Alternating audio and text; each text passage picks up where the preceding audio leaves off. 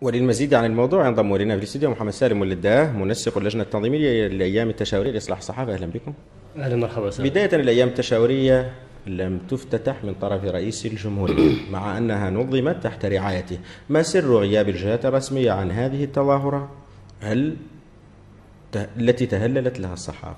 آه بسم الله الرحمن الرحيم والصلاة والسلام على أشرف المرسلين. آه هذه الأيام نظمت بإرادة صحفية ومن خلال جمع من المنظمات المهنية التي تعبر عن الكثير من الصحفيين. طبعا هذه المبادرة جاءت بعد مشاورات ولقاءات ما بين هذه التنظيمات ورئيس الجمهورية. خلال هذه اللقاءات آه، أعربت آه، الإرادة السياسية ممثلة في رئيس الجمهورية آه، عن رغبتها في أن تتعاون مع الصحفيين الموريتانيين في سبيل إصلاح قطاعهم. وبعد هذه بعد هذا التعهد ظلت هناك استمرارية في التواصل من وقت لآخر مع الجهات المعنية ما السر وراء هذا التقاعس؟ نعم لا لم لم يكن هناك العكس آه، رئيس الجمهورية قال إن على الصحفيين أن ينتظموا في هذه المنتديات وأن يتشاوروا فيما بعيدا عن أي شكل من أشكال التواجد الحكومي.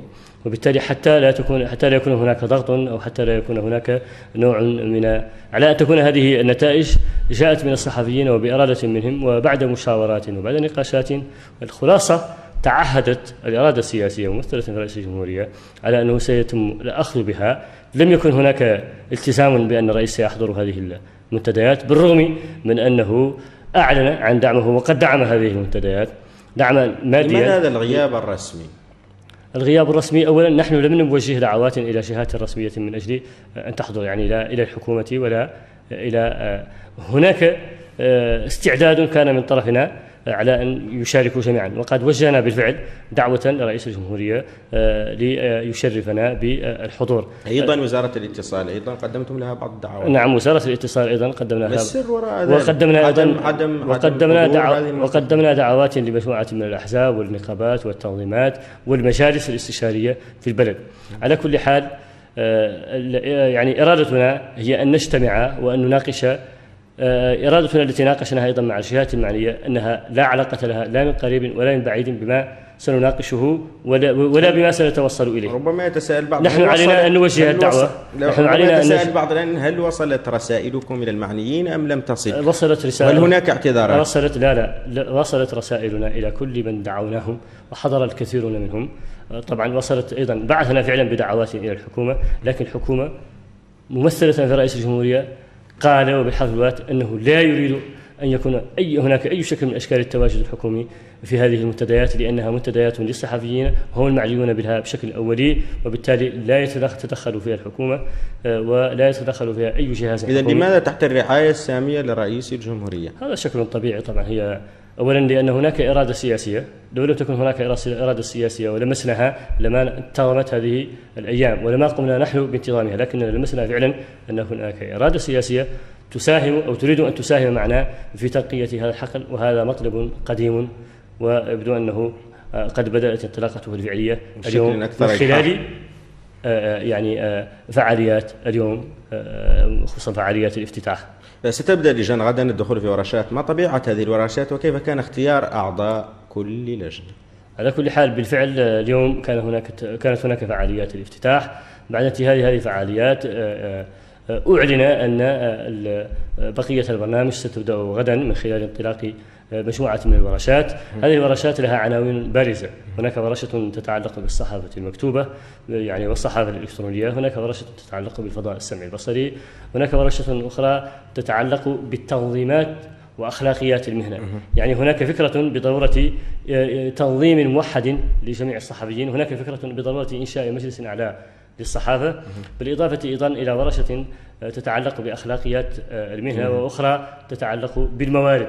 ورشة الموارد هذه تتطرق إلى كيف يمكن أن ننشئ آه، صندوقا يعني عموميا لدعم الصحفيين بالإضافة إلى ضرورة أن ننشئ أيضا مؤسسة للإشهار تساهم بشكل أو بآخر في معالجة الكثير من على أي أساس اخترتم أعضاء كل لجنة؟ على كل حال كل لجنة تم اختيارها. هذه أيضا كما قلت وأكرر هناك لجنة عليا للإشراف تقسمت إلى مجموعة من اللجان. هذه اللجنة وهذه اللجان جاءت بناء على توافق جماعي من طرف التنظيمات المهنية التي هي من يمثل الصحفيين لأنها تنظيمات منتخبة وتنظيمات تعبر عن آه، يعني جموع من الصحفيين أو تعبر على الأقل عن منتسبيها. بغض النظر عن غير المنتسبين لهذه التنظيمات. إذا عن طريق عن طريق محاصصة لهذه التنظيمات ليست محاصصة. لا, لا على العكس لأن تقريبا تشكيلة اللجنة 19 عضوا. لم ليست هناك محاصصة بقدر ما آه، على أساس ليس هناك ثلاثة من النقابة ثلاثة من لا لا لا لا. وواحد لا لا. لكل من لا لا لا لا لا لا, لا. هناك تنظيمات هي من يبعث هي من يختار يعني ممثلها للمشاركة آه، في هذه المبادرة الإيجابية التي ننتظر غدا آه، أن تنتج عنها سلسلة من التوصيات تساهم في ترقية وتنظيم وضبط الحقل الصحفي. برأيك إلى أي مدى ستنجح هذه الأيام التشاورية في تنقية الحقل الصحفي وماذا عن ميثاق الشرف؟ نعم هل تمت صياغته نعم حتى الآن؟ نجاحها الأولي أنها جاءت بإرادة الصحفيين. وأنها أيضا جاءت بإرادة من تنظيمات الصحفية يعني من كل التنظيمات الصحفية البلد اتفقت ولعلها المرة الأولى لا تتفق على شيء. الآن اتفقت على ضرورة أن تتجه جميعا إلى آه، كل ما من شأنه أن يساهم في إصلاح هذا القطاع آه، الذي نعرف جميعا آه، ما يقع فيه وما هو فيه يعني. وبالتالي هذه إرادة يعني إيجابية تحققت ولعل نتائجها ظهرت اليوم أن كل الصحفيين وإجماع كل الصحفيين هناك أيضا فتحنا الباب يعني أن يشارك في هذه المنتديات كل من يدعي آه، أنه من أهل هذه المنى صادقا كان أو غير أو غير ذلك من أجل أن يساهم بآرائه وأفكاره وتصوراته على أن نصل جميعا لخلاصة ستلزم الجميع غدا آه، حين نبدأ في تطبيقها. إذا مع أن الإرادة السياسية أكدت لنا اليوم كما أكدت سابقا أن المخرجات التي آه، تنبثق عن هذه الأيام التشاورية أنها سيتم تقنينها وسيتم تطبيقها بشكل فوري وسريع. بعد مقاطعة المقاطعة الرسمية لهذه المنتديات هل أنتم متفائلون بالنتائج أن النخبة مع أن نخبة من الصحفيين أيضا أعلنت موقفها منها وطالبت بتأجيلها؟ نعم. نحن متفائلون بأننا سنصل غدا إلى خلاصة تعبر عن الإرادة الصحفية وتعبر عن كل صحفي. طبعا هناك مجموعة من زملائنا الأعزاء كانت لهم وجهة نظر آه، وطالبوا بتأجيل آه، يعني هذه المنتديات. نحن على كل حال تواصلنا معهم ولا زال باب التواصل مفتوحا مع كل الصحفيين من أجل مشاركته. قبل التوصيات. نعم. قبل التوصل خلال نعم. يعني هذه هذه هذه المنتديات مفتوحة لكل صحفي. كل صحفي مفتوحة له مع حقيقة أن هذه التوصيات تمت صياغتها مسبقا قبل الجلوس على طاولة التشاور لا هناك وثائق طبعا أي منتديات أي ملتقيات من هذا النوع تتطلب ضرورة وجود أن تكون هناك وثائق. هذه اللجنة آه، التي مر على يعني يعني على إعداد هذه هذه الملتقيات ستة أشهر طبعا أعدت وثائق وستقدم هذه الوثائق آه، يعني للمشاركين من أجل فحصها والأخذ بنتائج تعبر عن الجميع. شكرا. على كل هذه